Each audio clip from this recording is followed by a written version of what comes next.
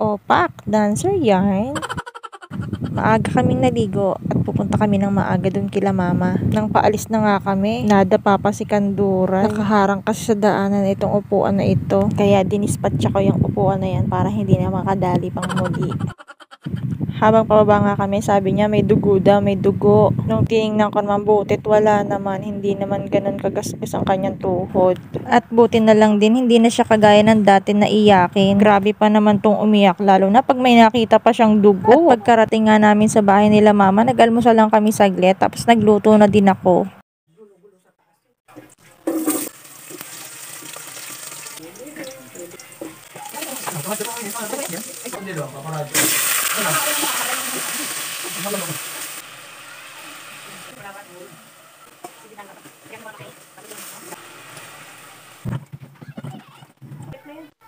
At habang naghihintay nga akong kumulo yung aking niluluto, biglang dumating sila sa dala-dala niyo tong aking mga parcel. Ito nga pala ay Cheso Tumbler ulit, para kay PB naman to. Tapos yung blue green naman is para kay Michael. Tapos itong isang parcel naman, para cord and silicone boots naman ang laman. Blue green ang in-order ko, saka purple para magka-match sila nung Cheso Tumbler.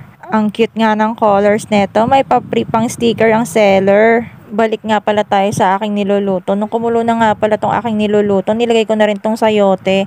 Nung medyo kumulo na nga ulit, nilagay ko na yung Nor cube saka yung aji. Tapos naghintay na lang ako dyan ng ilang minuto hanggang sa medyo lumambot na yung sayote. Huwag naman natin masyadong i-overcook para masarap pa din. Tapos nilagay ko na dyan yung malunggay o kaya dahon ng sili.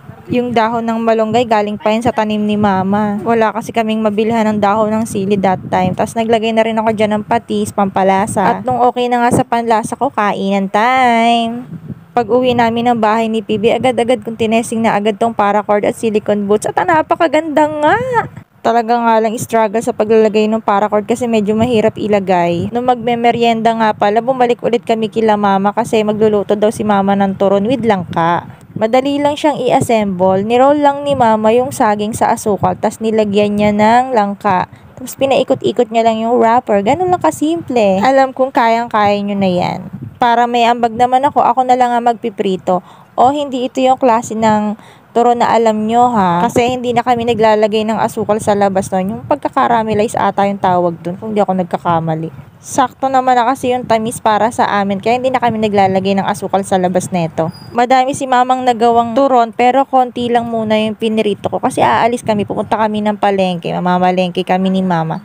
Tapos magtitingin-tingin na rin. Kaway-kaway sa mga nakatikim dyan, kahit gabi na nakapagbigay.